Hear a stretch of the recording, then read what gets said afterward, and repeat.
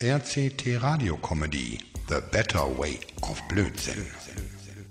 Mann, Mann, 2 Uhr morgens, stockdunkel und ich muss ja noch durch den Tierpark eiern. Aber was tut man nicht alles für einen guten Freund? Außerdem hat Mord ja morgen Geburtstag und ohne Geschenk auftauchen. Das wäre scheiße. Hey, Lenny, du auch hier im Tiergarten um die Zeit? Ach, was für ein Schreck. Mensch, Mord, Was ist mit dir los? das, das, das könnte ich dich auch fragen. Ja, und ich würde dir sagen, dass ich wegen der UFOs hier bin. UFOs, Mord, hast du wieder getrunken?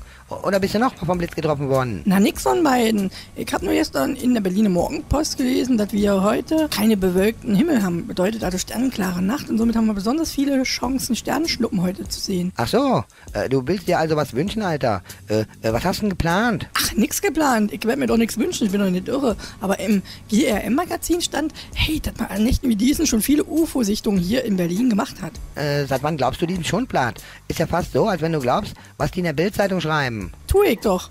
Wir werden Meister und, und das stand auch in der einen Ausgabe drin. Und? Sind wir Meister geworden? Ach nö, stand nö. Na siehste, und genauso wenig wie wir Meister wurden, werden wir hier heute ein UFO sehen. Apropos sehen, was machst du nun hier im Tiergarten, Nanny? Ach Mann, Moat, du hast mich erwischt, Alter. Du hast doch morgen, äh, ähm, ähm, ja, Geburtstag eben, ne? Das siehst du, das Licht da vorne auch, oder nie? Da, da vorne, guck doch mal ein Licht. Ja, irgendwie schon hell, ne, Moat? Voll hell. Ey, das sind die Besucher. Ey, meinst du, die empfangen nachts um 2 Uhr hier im Tiergarten noch Besucher? Ich meinte nicht die Besucher, Lenny, ey, das, das, oh, Lenny, ey, das ist ein UFO. Und, und die Besucher, die, die, das sind die Aliens.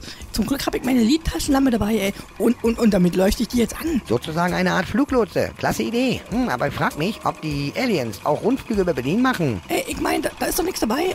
Aber wäre doch cool, ich und Lenny, also du und ich sozusagen, wir beide über Berlin im UFO. Wow, geile Sache, oder? Hm, aber irgendwas ist komisch. Äh, das Teil kommt immer näher auf uns zu.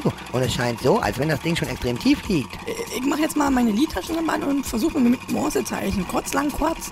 Vielleicht können die das ja entschlüsseln. Heißt das nicht SOS? Hey, mag sein. Scheint aber auch zu funktionieren. Guck doch mal.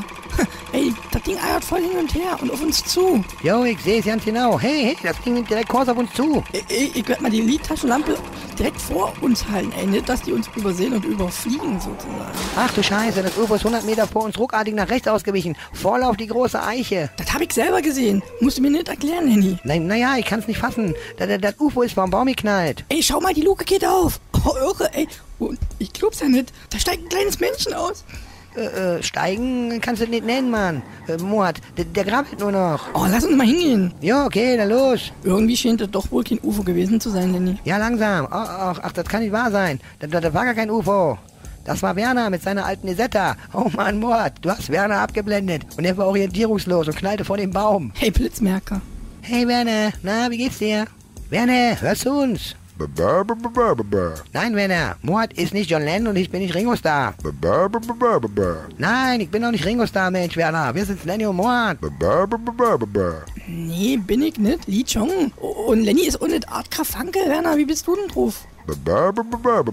Genau, die sind wir. Aber was ist denn passiert? Äh, hm, ich weiß nicht, ich kann dir das ja nicht beantworten, was passiert ist, Werner. Du hast Werner abgeblendet. Oh, Lenny, sei leise. Mann, ey, sonst bekomme ich auch eine Klage von Werner am Hals. Kann ich ja nicht gebrauchen, ich hab doch keine Versicherung. Coole Geschichte, Wernerchen. So, nun trink aber erstmal einen Erste-Hilfe-Trunk, damit es dir schnell wieder besser geht. Besser gesagt, damit wir deine inneren Verletzungen sozusagen heilen können. Äh, äh, es war wie Mord sagte, Werner. Es war so. Was? Du bist total nüchtern, Werner. Wie kommt's? Genau, weiter trinken, Werner, und schön austrinken, ne? Man will ja auch gesund werden. Mord, du weißt schon, dass du Werner gerade einen 07er Jägermeister auf Ex trinken lassen hast? Mann, er wollte doch aufhören. Er wollte. Aber du siehst doch, der alte Schluckspecht, ey, der kann einfach nicht ohne sein. Schau hier, der trinkt schon die zweite Notflasche. Und die war eigentlich für die Aliens gedacht. Naja, Werner ist ja auch ein Alien. Apropos trinken, Lenny, ey, lass uns mal in eine Schenke gehen. Ja, was machen wir mit Werner? Ach, der, der ist doch dicht. Guck doch mal. Den lassen wir hier liegen. Den geht's doch ganz gut. Naja, außer dass seine Schulter ausgekugelt ist und aus seinem rechten Bein Knochen rausguckt, ist er okay. Also, dann los, ab in die Schenke. ganz genau. Auf geht's.